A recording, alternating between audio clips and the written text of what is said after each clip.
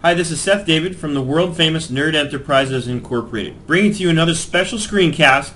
This time we're talking about a QuickBooks how-to on how to use QuickBooks for reporting. When you're entering transactions in QuickBooks, you're giving QuickBooks information. When you're running reports, you're getting information back from QuickBooks. You're taking all that information you've entered and you're organizing it in a way that it gives you useful information.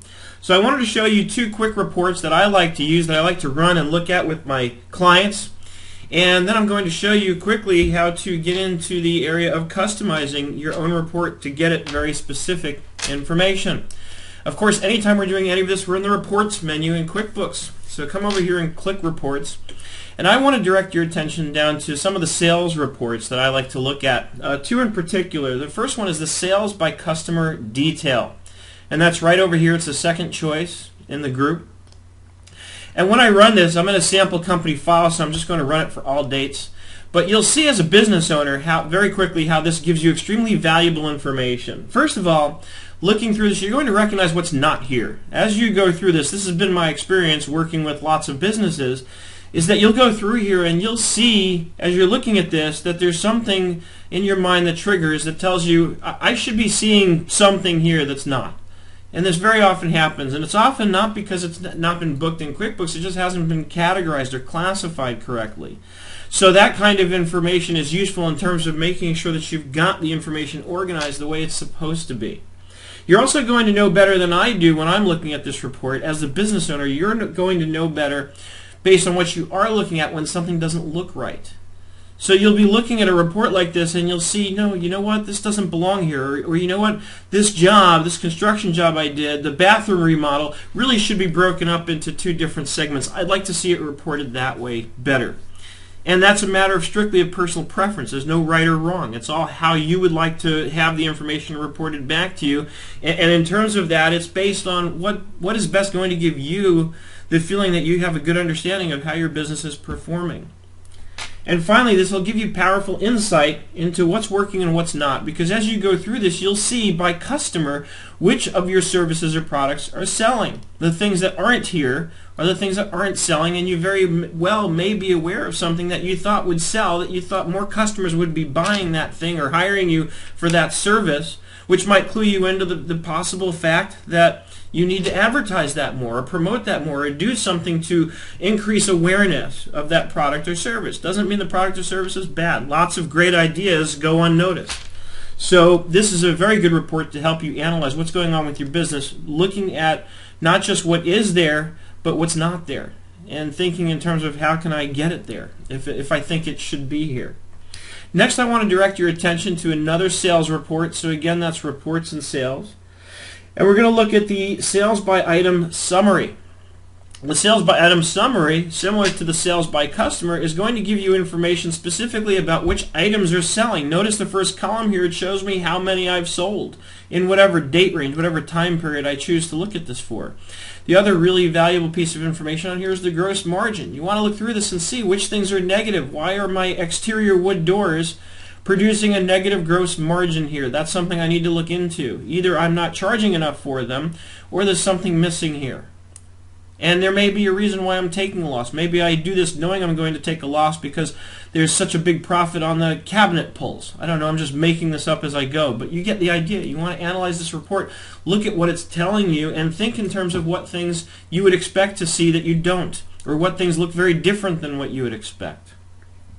Next, let's take a look at the sales by summary detail. So it's essentially the same report.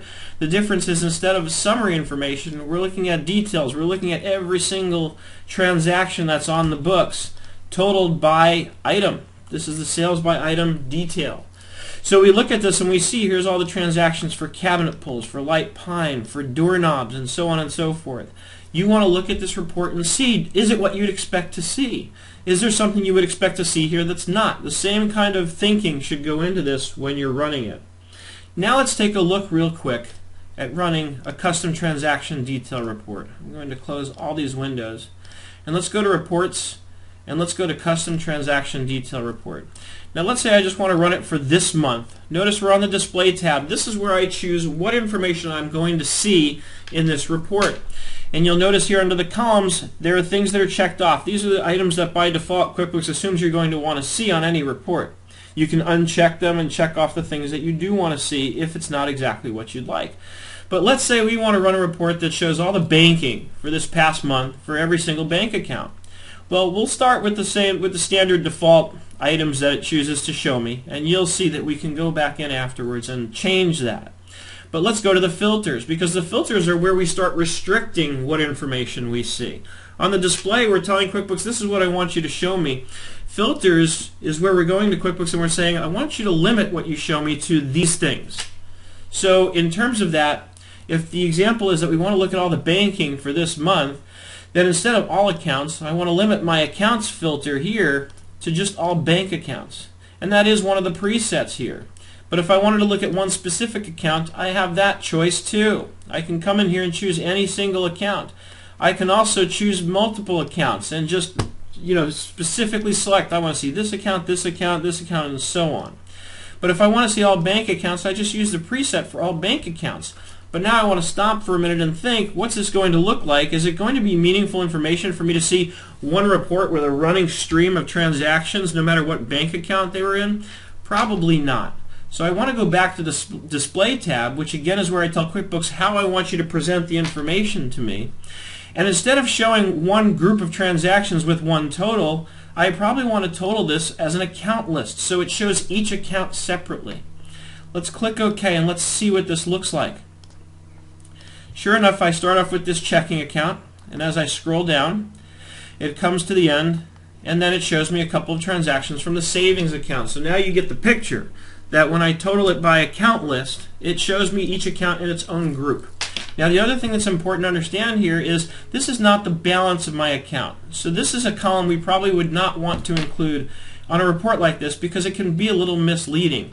Notice that going into the top, there's no previous balance rolling in. So these numbers, and you can also see that I see a check for 711.15 and then right away it starts me off with a balance of negative 711.15.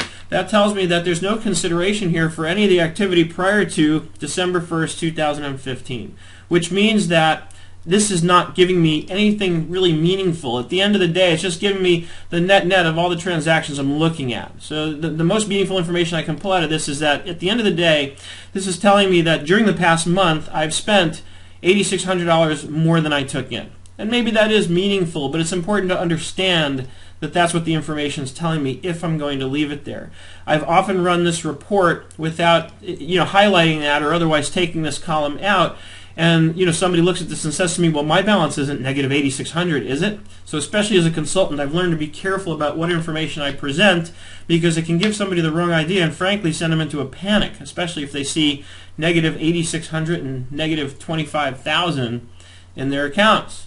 So it's very important to understand. Now, if I wanted to see that with the balance forward, what I can do, and this is the last thing I'll show you for now, is I can run a standard balance sheet, and I can double-click an account. So I'll just choose the checking, and then I can change the date range so that we're looking at the same information, but run this way, notice it does give me the balance forward. And there's my same 71115 going in, but now I have my true account balance. So now I can go to my client or my customer or you as the business owner and say, this is your real balance in the account as of December 15, 2015.